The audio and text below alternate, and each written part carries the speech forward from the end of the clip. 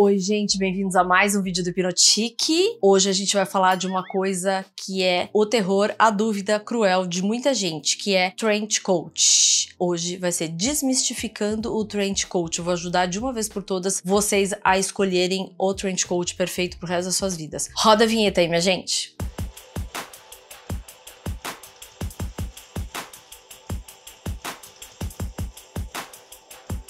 Oi, eu sou Fabiola Cassim, você está no canal Hipnotique, o canal mais legal de tendência, tecnologia, super bacana, gente, eu sou muito legal, o conteúdo que a gente faz é um sucesso absoluto. Eu posso te dizer para se inscrever agora, você não vai se arrepender em momento algum dentro desse canal. O que, que eu vou fazer hoje? De uma vez por todas, eu vou falar os itens na hora de você comprar um trench coat. Isso vai valer para os homens, para as mulheres, para as crianças, para tipo tudo. Por que, que eu vou falar do trench coat? Porque ele é uma peça que você pode ter para uma terceira peça. Você tá de calça jeans, camiseta branca, surrada e tênis podre. Os meninos, por exemplo. Põe um trench coat, acabou, tá lindo, maravilhoso, é um, um super de uma terceira peça. Meninas, mesma coisa. Se você tá de legging, sei lá, indo pra ginástica, você coloca um trench coat em cima, chiquérrimo. Ou você tá de sainha, mini, mini saia, curtinha, bota, sabe, um casaco leve para você se locomover de um lugar para o outro à noite, trench coat. Então ele funciona para tudo quanto é tipo de situação. Não tem uma, acho que casamento que não. Mesmo assim, ainda dá para dar uma gambi. Mas como ele é um casaco que surgiu há muito tempo, muito tempo, ele é um casaco clássico, e depois lá do clássico vieram muitas variações do mesmo tema, eu entendo que fica mais difícil até para mim escolher um mais legal. Porque hoje em dia tem tudo de tudo. Então, o clássico, clássico, clássico é o da Burberry que a gente vê bastante, que ele tem todos os itens clássicos. Então, ele é, gente, para ser uma capa de chuva chique de um europeu. Se você falar assim, Fabiola, o que que vem à mente quando você fala. Aí eu quero o trench coat mais clássico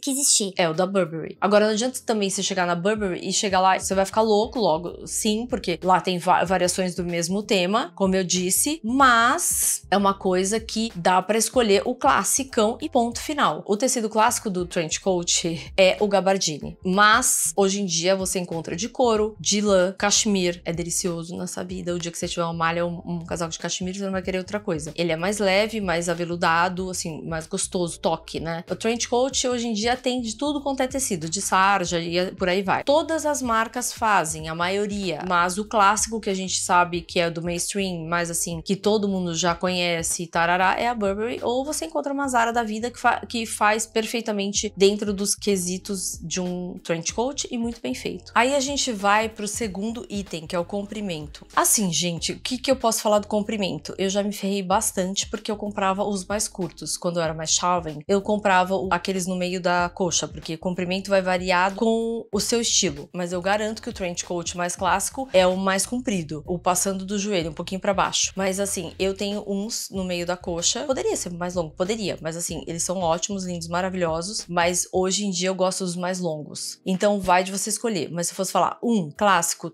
tipo assim, o mais básico é no meio da canela, mais ou menos. É esse comprimento que você tem que imaginar. Mas aí vai do seu gosto tal. Detalhes e acabamento. Os elementos tradicionais de um trench coat são o cinto. Ele tem um cinto que você pode amarrar tanto na frente como atrás, fica mais acinturado. Aí a gente tem as fivelas, que são do punho e do cinto. Tem as abas de tempestade, que são essas coisas atrás, que você pode tanto atrás como a lateral, uma sobreposição que eles falam que é de tempestade, mas assim, tipo, ninguém usa. E tem os botões duplos, que você pode fechar tanto de um lado quanto do outro. E também quando você abre, você fecha ele também em outro lugar, né? Tem as casas para você certinhas. Você nem precisa pensar, é só você abotoar. Aí os bolsos, capuzes e tal, uns vêm com capuz, outro não. Uns vêm com a parte de dentro de forro de lã, outros não. Então você pode abotoar com forro de lã e tirar quando você para você usar. Esse é mais versátil, você usa tanto no verão quanto no inverno. Ambas as coisas, tanto o capuz quanto essa parte de dentro, eles são removíveis. Então você pode colocar e tirar quando você bem entender. Ninguém te obriga. Outra coisa que também é um, um erro, por exemplo, você comprar o seu tamanho de ombro certinho, como eu já cometi vários. O seu ombro certinho não tem condição, porque se você tiver com muito frio ou no inverno, você vai colocar uma malinha por baixo, ou vai colocar coisa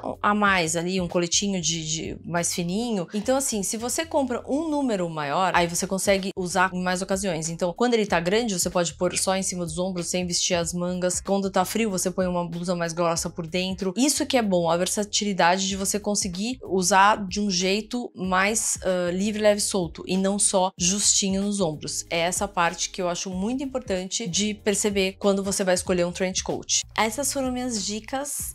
Na verdade, eu pontuei as principais escolhas. As minhas dicas pessoais foram essas. Então, um pouco mais comprido, um pouco mais largo nos ombros, uma cor clássica para você não ficar tendo que, assim, tipo, você roda, roda e nunca vai conseguir ter o clássico. Tipo, eu que rodei bastante até conseguir o meu perfeito. Hoje em dia, tem nos brechós, nos second hands, os lugares vintage, tem muito Burberry desses casacos mais clássicos, quando viaja principalmente. Então, se joga. Ou se não, se você quiser uma versão nova, ao mesmo tempo com uma cara bem acabada e tudo mais, é na Zara. Eu não tenho, assim, tipo, sombra de dúvida. Os mais caros, eu acho lindos, os da Dior, o da Burberry encerrou. Só isso. E os mais estilizados, que seriam os de nylon e mais em versões e variações do mesmo tema, da Moncler, que eu acho lindo, realmente eu sou apaixonada. Então é isso, espero que vocês tenham gostado.